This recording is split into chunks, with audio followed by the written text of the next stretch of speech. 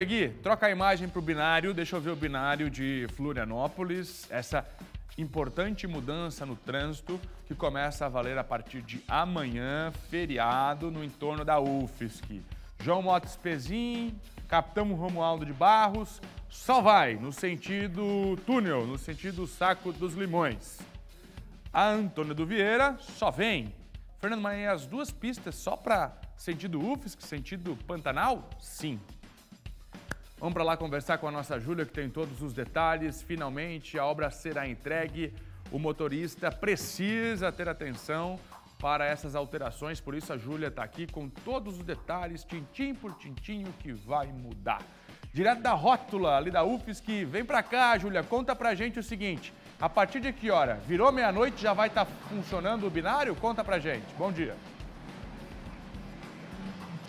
Olá, bom dia Fernando, bom dia quem nos acompanha. Não, teremos uma é, cerimônia de inauguração amanhã cedo. Inclusive, nós estamos esperando por esse momento. Eu acho que todos os moradores de Florianópolis estão. Foi confirmado pela Prefeitura, então, a inauguração do binário amanhã, sexta-feira, dia 21, feriado de Tiradentes. A gente sabe que essas, que essas datas já foram alteradas algumas vezes, então estamos felizes que isso vai de fato acontecer. Algumas rotas serão atentos, né?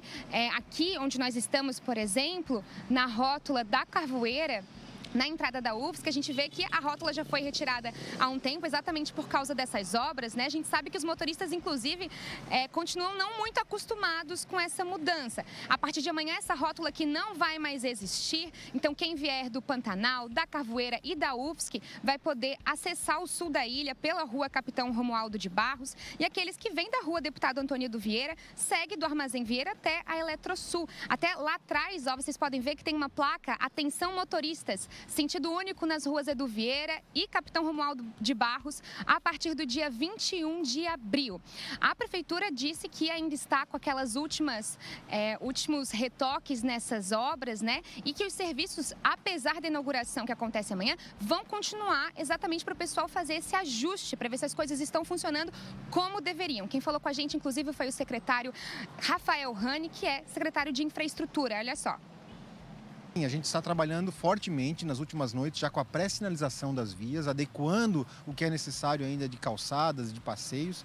Tem muito serviço pela frente. O binário não termina no dia 21, ele inicia a sua operação no dia 21. A prefeitura já tem programado outras obras e principalmente o acompanhamento técnico dos engenheiros, arquitetos, da equipe da Secretaria Municipal de Transportes e Infraestrutura e também da Secretaria Municipal de Planejamento Urbano, para que a gente possa ir ajustando o que for necessário durante a sua operação.